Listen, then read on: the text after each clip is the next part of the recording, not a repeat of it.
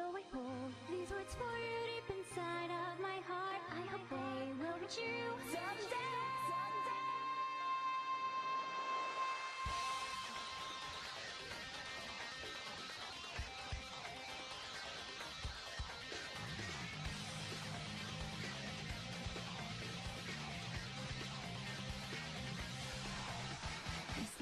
Welcome back to the one and only, because no one else cares, Shuffle Retrospective.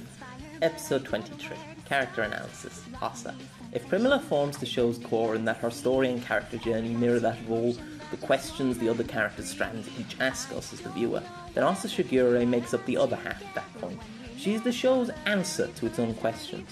When we look at Asa as a character, we have to understand what the point of her is, as it deviates from the others. Where they're all used to propose faults in the genre's formula and archetypes, Asa is used to illustrate a less toxic route through life. She's imperfect by any means, which is quite important. She can be rash, tomboyish, but she's deeply caring and has an old head on her shoulders, as it were. Her playful, almost tsundere aspects act as a front for her more muddly interior and a deep-rooted sense of shame and regret for her past actions as a child, which in turn continue to plague her in the present day. However, all this is Asa's issues are initially external, where Sia, Narane, and Kaede all have a hand in their own miseries. Asa doesn't. She didn't ask to be born ill. Mind you, we will see soon that she isn't infallible to the same traps the other girls fall in. But the point to focus on is, especially early on, Asa kind of has it together. This fallibility plays heavily into what the point of Asa is, realistically. We can see this part of her portrayed all over the series. I mentioned before a great visual reference to it in episode 18, when we see her and Rin bantering, while an alternative young couple do the generic formulaic asking out scene in the background of our focused foreground. We also mentioned how in that same episode, when Asa is neglected, she doesn't swoon and look wistful, but instead she pouts. And when it reaches a boiling point, she doesn't make excuses for Rin or blame herself like some of the other girls might have, but instead slaps him and gives him a good what for lecture. In fact, our very first scene of discussion was one where we saw how much she contrasts Narane in her apparel and cooking style, along with her sisterly tendencies to carry plasters around. And that was all the way back at the start of the essay. Even when they do finally get together, their relationship differs heavily from that of Rin with the others. They date, kiss, and talk in a casual manner. They act like old best friends because that's what they are. A good couple is one where both parties aren't just in love, but rather one where they enjoy each other's company, feel comfortable in their intimacy, and can act naturally. When Rin is with Sia, Narane, and Kikyoko, he has to keep putting up a front, as they do. Both parties have to actively try to impress one another to make things perfect, to make them how it's supposed to be. And when he's around Kaede and Primula, he has to act in the traditional image of what he perceives a man of the house to be, all playing back into his character team of societal and cultural male expectations. But with Asa, he and she genuinely look happy together, like they're having a whole lot of fun just talking or going to cafes or doing the shopping.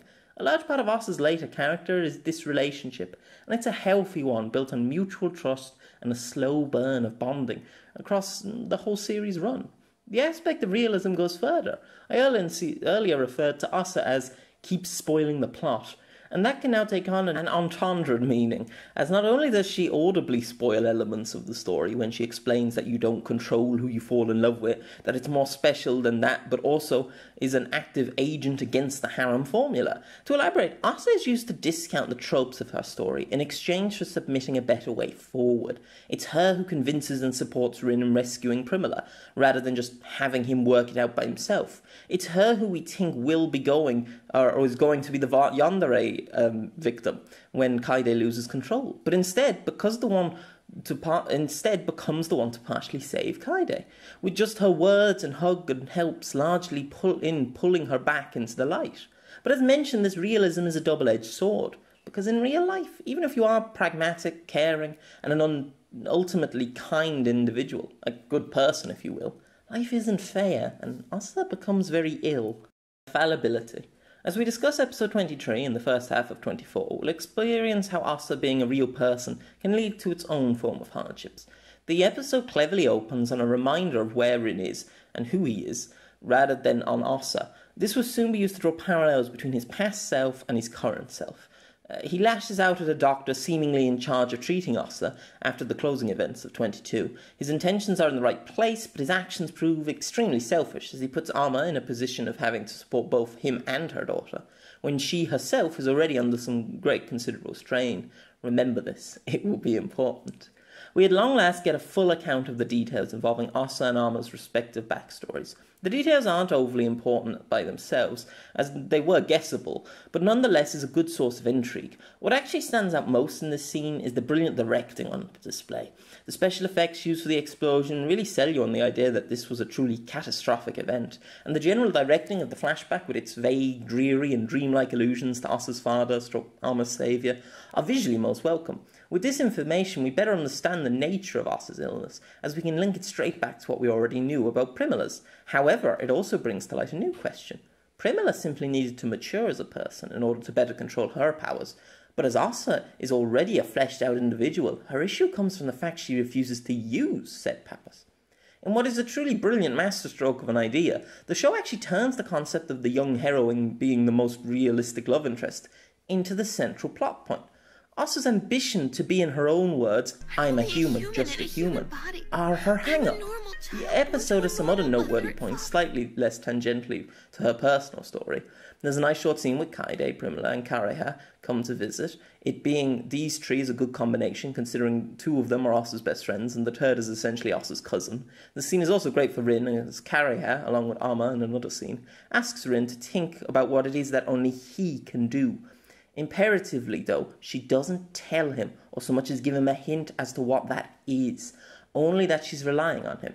It's so important that this is the case, and it continues to put the onus on Rin to make the decision that he believes is right. As you can imagine from my summary description alone, the conflict of the the conflict of this final arc revolves around Rin and Asa arguing over her hesitance to use her powers. We get a number of beautifully slow dialogue scenes of Rin spending time with Asa, who the animation team do a great job of gradually making look more and more decrepit, her face turning ever more pale to the point it's almost bony and malnourished. To me, this is a wonderfully alternative extreme to the yandere faces that Kaede made earlier on. And like that one, this one too absolutely haunts my dreams. Us as being what you might call selfishly altruistic. It's a team every character shares, and a general team of the show, and while Asa manages to keep away from it for a time, we now see it finally catch up to her. Her conflict is in a way the most realistic part. Its solution is simple, just use the magic. But like is so often true in life, it's not that simple. It's funny that on occasion throughout this essay I've referred how people far too often fail to see past themselves, can have their minds narrowed by a certain sense of thinking. In Asa we're seeing this, she isn't doing this out of malice. She isn't trying to hurt Rin or Amma. She's doing what she believes is right. Grasping why Asa won't just use her magic can be really difficult, but if you've experienced people who act like this in the real world, then you can totally understand what the story is trying to say here in this particular element. Rin growing ever more desperate placates her, borderline begging her to act before it's too late. Asa resort, res, retort is frustratingly blunt. It's my, it's my life, to bet, not yours. not yours. Have you ever heard someone say something to that effect? These episodes make a brilliant job of showing us Rin's anguish. He mopes around the hospital corridors and waiting rooms, which reflect his own isolation in their barren emptiness. I find a genuinely heartbreaking scene when Asa describes her dream, one where an aged version of herself and Rin stand upon the same overlook and once more profess their feelings for one another, all while the camera stops upon a disconcerting top down view of an empty, dusk baited overlook. The words don't match the image of the path she's chosen to tread. Finally, we get the last piece of the puzzle as Asa explains her motives, stating she doesn't want to use her magic in an effort not to hurt her mother any further than she already did as a child. The voice acting here by Monica Rial, animation are crushing, as your heartstrings get snapped in half. Aside from playing into the themes of her character and that of the show, it's also just a wonderful case of irony. Her actions mirror Rin's so closely. Remember that scene at the episode's open? She believes wholeheartedly that what she's doing is for the best, but in reality, she's the one making her mother responsible for her own daughter's death. To loop it back around to an earlier point, were you to compare this to modern politics, it's like those who saddle their high horse in order to defend some group or minority, who never actually asked for such aid. Asa has decided on what's best for her and her mother without talking all the facts, or without taking all the facts into consideration. She hasn't asked Amma what she wants. And that's a running thing. Rin doesn't ask Primula what she wants, etc. With that, we come to the end of episode 23, and with it, we can now truly understand what Asa Shigure is. Her and Rin initially seem like an old fashioned, the opposites attract type couple the introvert and the extrovert, the reliable best friend and the indecisive young boy. But in reality, they share more in common than we expect. They've both got unfounded expectations on their shoulders, both have been through a traumatic upbringing, and they are each a kind hearted to an absolutely detrimental fault. That's part of what makes them such a great couple to each other, along with what we already discussed above. In a way, Asa's character is much simpler to talk of than the others, as her role within the narrative as a more realistic waifu means that she dispenses with much of the baggage, and that what she does have mirrors the other characters, hence we've already discussed it. As I've no intention of repeating myself, considering the absurd length of this essay already, I shan't go off on another ramble about the themes of finding your personal identity when you're only a young person, or on another rant about the topic of extreme altruism. But please don't take any of that to mean that I value Asa as a character any less than I do the other five primary forces of the show. No, indeed, her portrayal is one of the things that I believe makes Shuffle work so well. Not content just to criticise, it gives us a more healthy, vague guideline to contemplate and think about with its take on the ideal healthy relationship, and then it snatches it away with what has to be one of the most realistic depictions of how crap life can be, even when you're in love. Illness or accidents, differences in opinions, or unforeseen circumstances of previous actions can all jump from nowhere to ruin everything.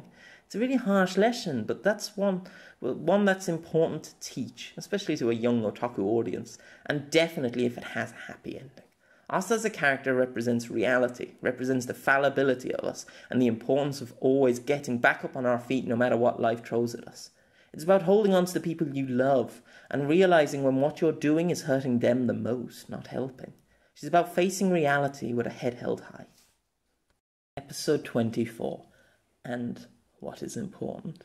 With all that we've just discussed and have been in general about Rin and Asa's safety kept in mind, we now find ourselves on our way to the final episode. Shuffle's finale is a favourite of mine and a medium that will, while sometimes struggles to finish satisfactory, definitely presents some stiff conversations.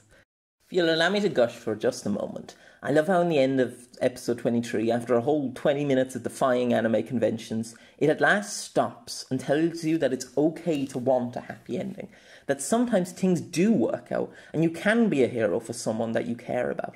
I love how masterfully it wraps up all the loose ends, how it's not afraid to be cheesy and add in a moment, the odd moment of levity, how it doesn't wholesale reject the traits that make us fall in love with these genres in the first place.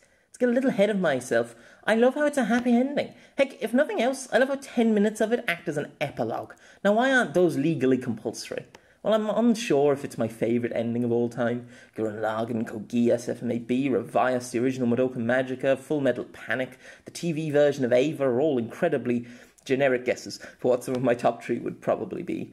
I'm confident it will place in the top 10, probably right around where War in the Pocket is, were I ever to sit down and field them. With all that said, we should probably take a proper look at what we're dealing with. We start things ahead, and off the bat, we have some interesting framing. Asa has got up and left the hospital. Rin is in hot pursuit, and his friend desperately searching the building for her. The presentation takes wonderful strides to dull the colours of these scenes, while also making sure to once more make use of perspective, to draw Rin as small as it is noticeable. The rooms are all empty of other people, which all adds to put an emphasis not only on Rin's hunt, but also to make him look even smaller and adds the growing sense of desperation.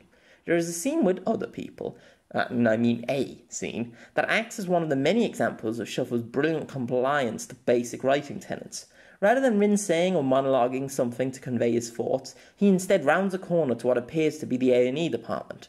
A trolley surrounded by emergency staff parades down the hallway, in, with the focus being on Rin's expression. The short couple of seconds seamlessly communicates what he's thinking and the deepest worries which he's feeling in this moment, without a single piece of explanatory or worthless dialogue being spoken. We get some shots of Asa's journey into space here and there. One in particular depicts her falling in front of a rubbish collection point. The lingering shot is her sandwiched between a discarded can in the foreground and piles of other miscellaneous rubbish bags in the background. The piece of imagery feels dark, chilling almost, I've always inferred it one of two ways. On the one hand, it seems to be almost a homage to similar subteams in the likes of Ghost in the Shell, where the idea of a corpse of a human being comparable to garbage is a side focus of that film's amazing art direction. However, it could also be seen as a representation for Asa, Amma and all the test subjects who are failed experiments doomed to die at the hands of their own extraordinary abilities and potential. Conversely, it could just be as heartbreaking as it is eye catching and nothing more. The rest of the city is portrayed in much the same manner as the hospital, with only a collection of uncaring machines in the form of car traffic for company. Rin and his quest seem ever smaller when framed on these sullen backgrounds. He retreats to the familiar setting of the park, and while sitting on the fountain side, considers his options. This small, tiny moment is it. This. Is the culmination of his arc, and I absolutely love the subtlety. It's here he decides his course of action, and here where he finally has to think about her, not about himself or what would be socially right to do, which in the moment would probably be to call the police or Amma or anyone, but instead he thinks about Asa and Asa alone, deciding what he thinks is best for her, himself and no one else. Now we come to it. This one of this one is the last big scene we need to discuss in the whole show's run. I referenced it earlier, all the way back in episode 20, which for me writing this was some weeks ago, and for me recording this was fucking ages ago. This scene is my final favourite scene TM, and I want to preface it one last time, reiterating that I am no way qualified in any form of media study. Indeed, I'm a rank amateur and all manner of analysis regarding of the form of media and apparently talking straight, and as such I doubt my words can truly do this scene any real justice. Therefore, if it's a while since you last watched Shuffle, I advise you going back and rewatching at least this scene, up to the break title card, or just a whole episode if you want. Heck, fucking rewatch the whole thing, it's worth it. To properly reacquaint yourself with the tone and feeling of this scene. You done? Okay. After reuniting with a forlorn Asa, Rin listens calmly to her for a time. No music plays, which I love, and Rin is mostly silent to boot, as Asa, with a hollow smile, utters her devotion to the young man. There's some nice parallels to the other scenes here. Rin gives Asa his jacket, the only other case of this being Primula in episode 15. Furthermore, his eyes are obscured throughout most of the scene as he hides his true intentions, his mind already made up.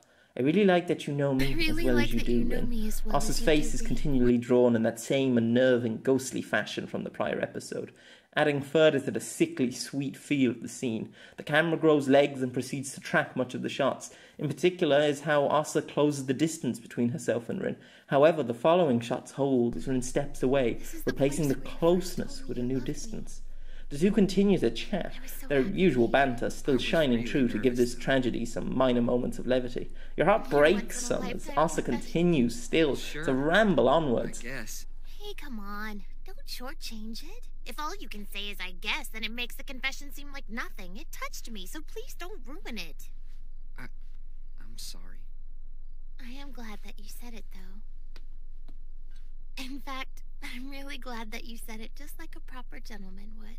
As Rin increases the aforementioned distance between the two, you soon realize then what he's doing isn't what he's been told. That would be to that would be to let her die like she asked. Nor does he leave it to Asa's mum to talk her out of this crazed course of action, which, remember, is what happens in all the other arcs. Instead, he does what he wants. He decides to save her no matter what it takes. The music at last cuts back in, but it isn't for a dramatic rescue this time. No, that was episode 15. Instead, it's much more intimate, so much smaller and yet a way bigger act in its own fashion. It's surprisingly graphic as Rin slits his wrist and presents a kind expression to his blood-stained face, while Asa all the while despairs at the scene unfolding in front of her. Personally speaking, I'm quite squeamish. In fact, just talking about this vague summary with the episode in the background makes me somewhat embarrassingly a little light-headed. It's why there's a gaping hole in my knowledge of gory horror anime. Regardless of that, I think it's fair to say this scene shows another glimpse of the production team's fantastic breadth of skills, as the blood is in no way obscure, hammering home the severity of the scene, but also imploring its importance. This small act has its desired effect, and episode 24 and 24 episodes in, and Rin finally becomes the hero of the story. It's a redemption arc in a sense. I've already said at Tedium how in each of the other arcs someone else plays a large part in saving the girls, Lycoris for Primula and Narune, Kikyo for Sia, Primula and Asa for Kaede, and while in each story Rin does take an important role, I love how in the end he does the truly heroic act in order to save the one he loves. In a sense, it's cheesy, sure. A little too romantic for sure, no doubt, for some, no doubt. But the camera swooshes out as Asa's powers envelop the screen and the story draws to a close. The advertisement section ends, and we resume where we began, some approximate 540 minutes worth of screen time later, in the hallway of the Fuyou residence. The art style has changed once more, now being slightly more detailed and even moving at a higher frame rate in places, which sure makes for a nice touch to make it seem more flush and fluid moving. The final section of the show is its epilogue, but that doesn't mean we're done talking. No, indeed, there's some clever stuff going on here. Firstly, as suggested, we have a mirror to scene 1 and episode 1. However, Primula's pigtails swing into the frame, cueing us in that this is no recap. She also narrates this final segment, as mentioned in my analysis of her character earlier on. This epilogue is so satisfying because it takes time, as we will see, to show us each character's continued development. Primula herself helpfully clues us in that only around three weeks have passed, ergo the characters are definitely still working on themselves, but enough time for most of them that we can enjoy the catharsis of seeing how they've grown. Primarily on that list is Kaede. She's put all her more dangerous tendencies into the role of being an older sister, However, unlike with Rin, Primula is someone who is a younger sister rather than a surrogate daughter, is someone who she can rely on, who to support her, rather than how it was with Rin. Kaede was simply catering to his desires. This new setup is a marked improvement for both, as they act as good sisters should and help each other. The scene continues to repeat the same joke from the opening episode, with Kaede forgetting her own lunch, though Primula's inclusion here obviously changes the scene intrinsically. A new one off track plays over the moment, and Primula conveys the aforementioned information about the passing of three weeks, as well as confirming her age as just one year below Kaede's. We follow up with a scene reminiscent of episode we 22, with the girls on their way to oh, school, oh, before make for a nice grouping even before Rin and Asa's entrance, Good and Primula continues everyone. narration, proceeds to spell out the plot for anyone who's still not paying attention. scolded Rin for risking his life, but honestly, I think he did what he felt was right. She says this as a response to the news that the gang were thoroughly pissed at Rin for risking his life, which is an expected and fairly justified thing to hear. As stated, we get something akin to 22 in these last 10 minutes, essentially fan service. However, what I've always found interesting about it is how it's less fantastical than 22's effort. Where it had made outfits, lewd Kyoko, and drunk dads, 24 is far more low key. It's much more grounded, more realistic. The people involved act like a group of friends who've been through a ton of traumatic events in recent months. Sure, there's still the girls fawning over Rin, but it's far less ecchi. Furthermore, rather than a party, they simply return to the rooftop get togethers. It's also playful in a really uplifting way. For example, the visual novel character cut ins return, not for the first time, but they always make themselves absent in the more serious parts of the story. Except this time the borders spring to life, bouncing off one another and covering over each other as the characters talk over one another. It's a nice touch and pretty darn wholesome we get to see Itsuki receive a genuine rejection from each of the girls, which is both brutal and hilarious for how straight it's played. It's then followed by one last subversion, as I think it's fair to say most of us expected Mayumi and Itsuki to finally become an item, but instead, despite a compliment about her face, we get one more glorious beatdown of everyone's favourite resident gutter dwelling pervert. Bam in the dirt's gun, as I've written in my notes. There's some more great comedy beats as during said Roof's top lunch, Primula breaks nonchalantly uh, sorry, during the rooftop lunch break, Primula nonchalantly assassinates Rin with her cooking and pretends like it wasn't her elaborate plan all along, while grinning Machiavellianly all the while. It should also be noted that narrating is absent from this scene, a further usage of the show's adherence to its own rules, and a good way to display her continued development past the confines of the group, which we'll touch on a little more in a second. Following that, we have a couple more important narrative points left to mention, as the show seamlessly ties up its remaining loose ends. Like most of Shuffle, it's simply action.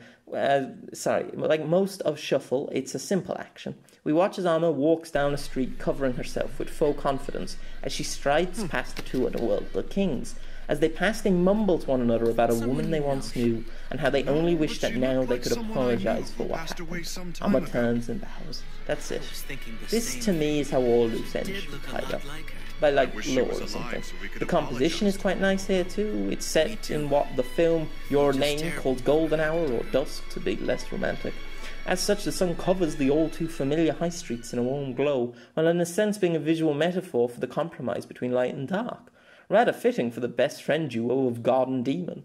We get one or two instances of plot based fan service next, with also presented in a frilly server's outfit at the cafe where Kareha works, as alluded to literally two dozen episodes ago. Her and Rin share one last set of cute dialogues, showing how all is once more well in the world, and in what I believe is Kareha's little sister's second appearance and only line in the show, she sums up the smile these final scenes always put on my face with a brush of her own. I love a happy ending. And then it ends. We get some great custom credits, which are always a win in my book, including an exceptionally well animated kiss between Kaede and Sia, that being the other instance of fan service, and wrap up the last bit of development for Narune. We learn earlier in the episode that she's really taking to her new pursuit of radio and may even be going to sing on air in the near future. Like the armor ending, this is such a perfect illustration of masterfully writing an ending. After all, not only is she clearly living life for herself and enjoying it at that, but the point about singing is definitive proof that she's come to terms with the death of her sister and has truly recovered from her survivor's guilt. Her shot in the credits shows her at Lee Lycoris's grave. It's both nice, as she's the only character incapable of being present in the epilogue, but also another sign of Narune's progression. Prior to episode 15, I'm strongly confident she could never have faced that grave, but now she looks on it as her own person. It's also nice how it ends Shin's theory that no one would grin, grieve the artificial lives proved false, as evidenced by this shot of Narune at the gravesite. Neither the show ever forgot or Narune, their big sister, which plays quite well into the theme of family. It's just a nice way to wrap things up. Long sought after conclusion. Well then, here we are, some 42 plus thousand words later. I've no intentions to do the whole sappy, this show changed my life spiel. However, I suppose some context is appropriate in the final act. Shuffle was not my first anime, but one of a series of recommendations from a good friend, meaning it was certainly something I watched in the first year of proper anime viewing. You know, that year when you realise anime is more than just Digimon or Yu Gi Oh! and Pokemon. I loved it on that first watch, and it probably set my standards for harem and rom-com anime way too high. If you see my mal list, you'll know I actually score most generic harems in the region of a 7. Read on Judging Anime by Jury for more information on that. But for one to get a 10, this is the standard I expect. Coming up with a summary here is tricky. We've gone through a lot, and Shuffle as a show has so many dense layers that I once more must insist that I have hardly done it justice. However, as I said at the very beginning, I've always struggled to find any good analysis for more niche shows like this one. Sure, there is some, but much of it is shallow or people complaining that they don't like how Asa is the winner, or they hate how Rin is a pussy, which brings us back to what we discussed in the maturity and nudity segment. If someone has done a better analysis, please send it on to me, as I'd love to hear the thoughts of other reasonable people. But in lieu of that, let's wrap up, shall we? I've watched Shuffle more than five times now, and an inordinate number of time has been spent thinking about it. So much so that between that and this essay, you could probably add an extra couple of watches onto it. Ever since that first rewatch five years ago, I've been threatening friends and my long suffering brother that I would actually write something about it one day. But you might still ask why though how you got down this far would baffle me. Shuffle for me is the epitome of what makes anime unique. It appeals to an audience of young adults and teenagers that the West so often wants to forget exist and refuses point blank to cater to with any sincerity. It's a visual wonder with its ocean of metaphors, literary shorthand, and show not tell storytelling.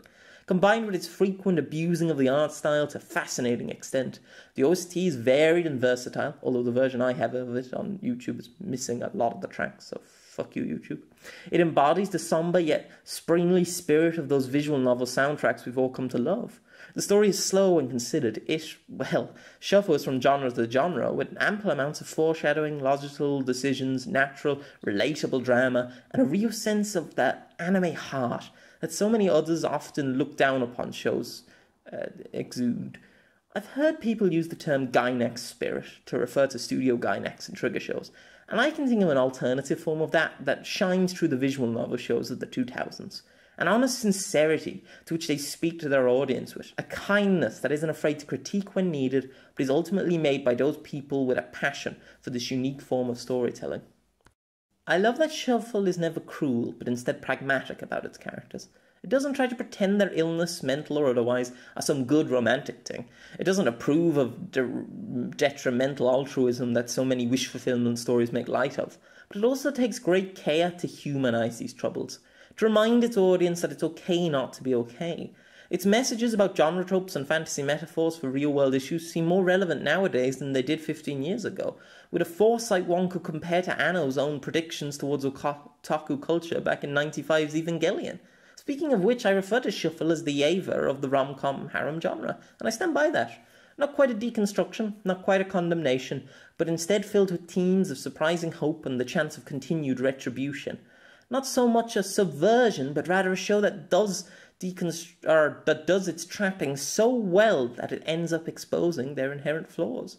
This isn't a show about condemning escapism, but instead one about reminding you that sometimes you have to wake up from the dream in order to reach an even better reality.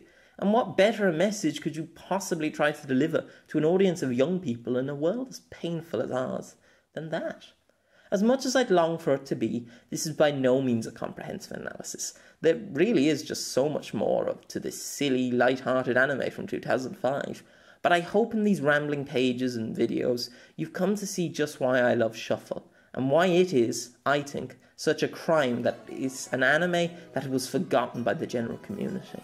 In an era in an era of anime where each season some new show comes along to fix the genre, whether it be the recent likes of Mushoku Tensei for Isekai, Rent a Girlfriend for Harems, or Horimiya for Romance, this isn't to say I have an issue with any of those shows in particular. I think everyone would do well to look back on what came first. The age of a one series complete show with concise and emotional storytelling that exceeds in every department may be over as every new series intends to on dragging their stories out into multi-seasoned incomplete set to half stories.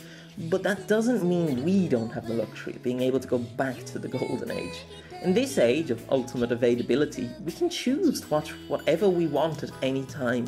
Sure there is plenty of new properties still coming out but maybe it's time you'll stop trend chasing. Don't watch shows that you don't enjoy just so you can hate on them but equally do give all shows a fair shot and good faith like Shuffle, dispense with the rhetoric. Form your own opinions, but be flexible within them. Be tolerant and open to change. Try to understand everyone, no matter how deplorable they may seem to you. If a Japanese cartoon about cute high school girls can do it, then surely so can you. I sincerely hope you got something from this essay, and maybe Shuffle even raised in your estimation a little after it. If you got down to this video, you have my extreme and wholehearted thanks for watching, and I honestly really hope you enjoy. Best regards, Momentie.